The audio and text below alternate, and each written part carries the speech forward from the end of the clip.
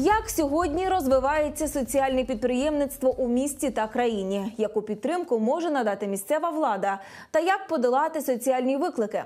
Про це та інші важливі питання сьогодні говорили на першому міжнародному форумі соціального підприємництва у Вінниці. В Донецькому університеті зібрались бізнесмени, представники влади, викладачі, експерти та практики. Підприємці влаштували ярмарок своєї продукції. Тут і екоподушки з гречки, і мікрозелень вирощена школярами а ще вироби із дерева та тканини, мило ручної роботи. І навіть центр відпочинку для дітей та дорослих. Окрім комерційних програм, презентували діяльність і ті, хто активно займається оздоровленням та дозвіллям малечі з особливими освітніми потребами, зміцненням родинних стосунків та боротьбою з інтернет-залежністю школярів. Кажуть, у Вінниці сприятливий клімат для розвитку соціального підприємництва. Наш центр також від, відчуває і інформаційну підтримку.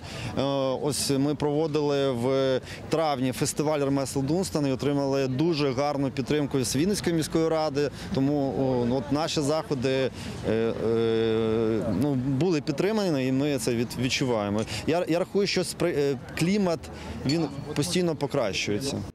Учасники форуму кажуть, такі заходи гарна можливість не лише обмінятись досвідом, а й обговорити перспективи і проблеми розвитку галузі та знайти партнерів для співпраці.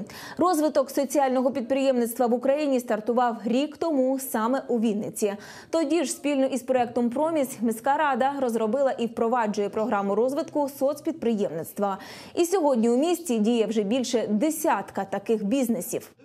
Чим більше буде таких підприємств, тим більше ми будемо асоційовувати, е, верніше адаптовувати людей з е, спеціальними потребами до потреб їхніх в першу чергу, і місто буде таким чином їх ну, забезпечувати найнеобхіднішим тим, що вони мали б роботою.